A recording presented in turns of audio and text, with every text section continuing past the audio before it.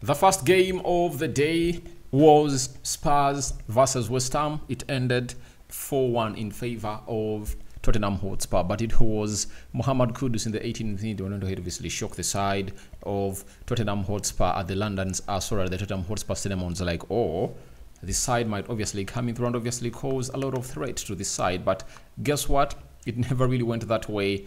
Tottenham Hotspur ahead obviously respond and they found themselves winning this beautiful game of football. Welcome to this channel. This is the United Sorry. This is the Rokani Media Football. How are you guys and where are you watching us from?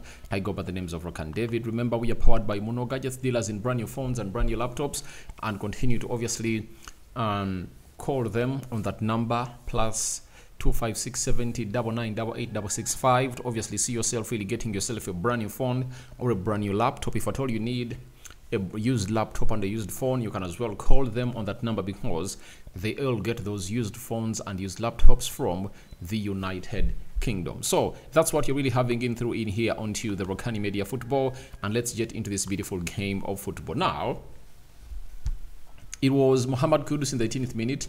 Then uh, 18 minutes later, Dejan Kulusevski went ahead to obviously level up the game and the first half ended 1-1. Then 52nd minute, Yefis Bissouma went ahead to put Tottenham ahead.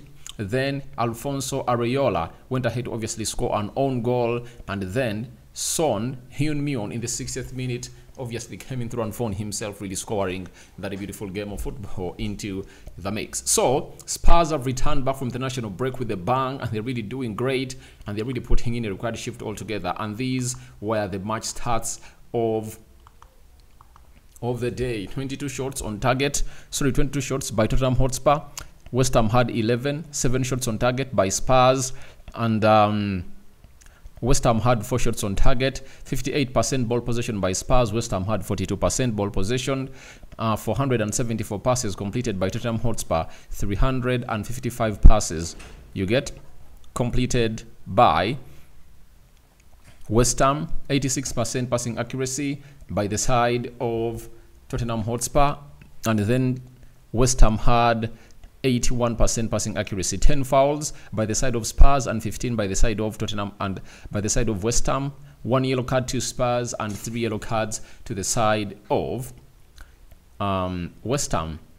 No red cards issued to Tottenham Hotspur and one red card has been issued to Mohamed Kudus. If you know, you know how things are really going to be panning out into the mix. Then um, two offsides to Tottenham Hotspur, and then one offside to the side of West Ham. Then 13 corners by the side of Tottenham Hotspur. Then five corners to the side of West Ham. And they came up and obviously put in the required shift all together, and the game ended 4 1 in favor of no one. Sorry, in favor of Tottenham Hotspur. So Spurs came into this game when they're really trying to obviously take on to a stretch from a 3-2 defeat uh, from Brighton. That is the Falmer Stadium. Remember, the last time we played in the Premier League, that was match day 7.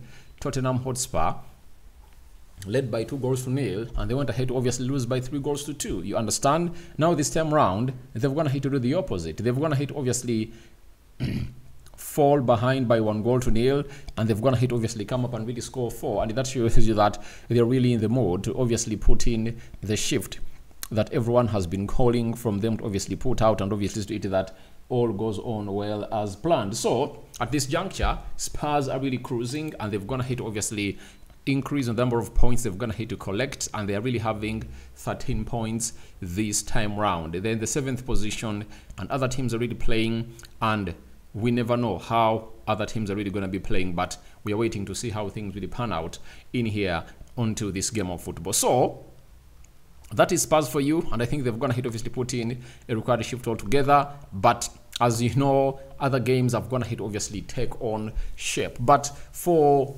um, the manager of West Ham, Lopetegui, I think he's really having a very bad start of the season. And this is where many West Ham fans will ask themselves that then why did you take off, why did you really sack David Moyes? Because David Moyes was this kind of manager who could obviously play in a shambolic way, but could obviously find you results. You get he even won them their their first trophy. You know, in is it 50 years since they last won a trophy, and they went ahead obviously sack him. So I think you look through the decision that we're obviously going ahead to make, and the decision was sorry, the reason as to why they went ahead to obviously sack that player was all about him not putting in the required shift altogether in as far as playing sexy football is really concerned.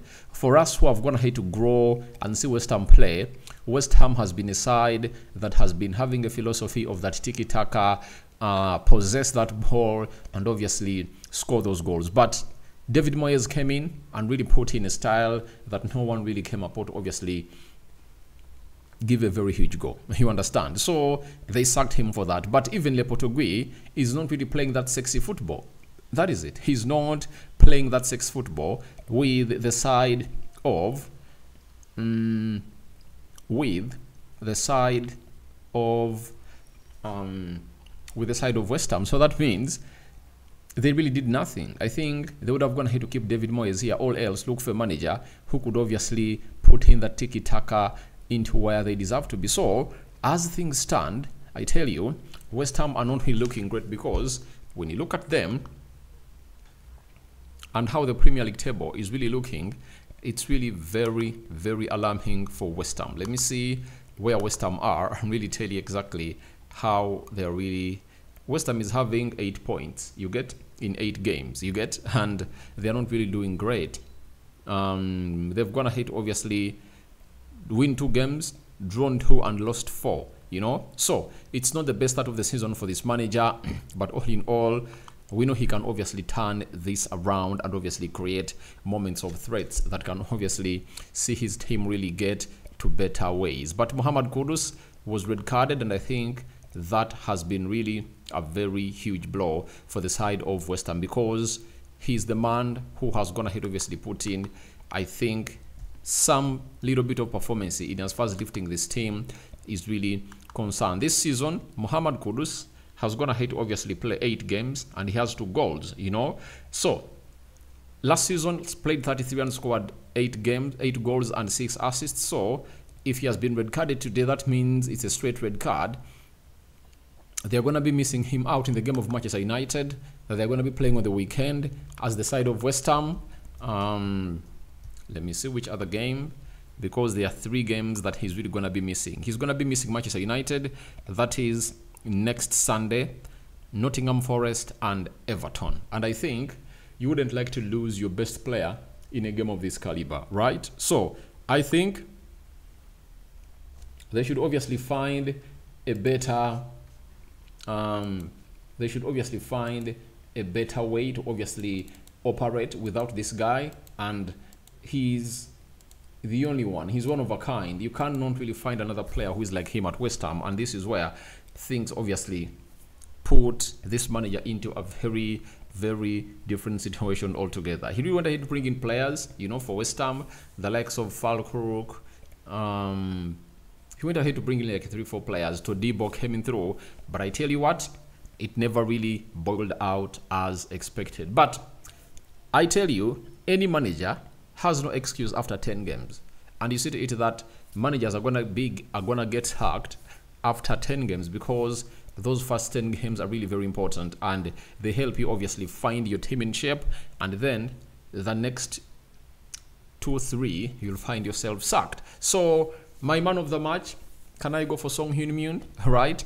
But I think Ange, uh, Ange has gone ahead obviously get himself off that pressure because if he had gone ahead obviously lose that game things wouldn't have gone ahead to be flowing into his best way as a manager. So, your thoughts onto this beautiful game of football? Welcome in the comment section below about Tottenham Hotspur 4, Spa, sorry, West Ham 1, a London derby that has been gone ahead to be that has gone ahead to be won by the side of uh, Tottenham Hotspur and Richarlison, some huge positive. I saw him really play a little bit into that game of football. And Son Heung-min returning with a bang because he's one of those players that missed out on the game of Manchester United. And I think he hasn't he has he wasn't gonna hit to be he wasn't fully fit when they played against Brighton. And he comes in through to put in a required shift altogether. So that's my thought about that beautiful game of football. And I'm call upon I'm calling upon for your reactions into the comment section below. We out. Bye bye.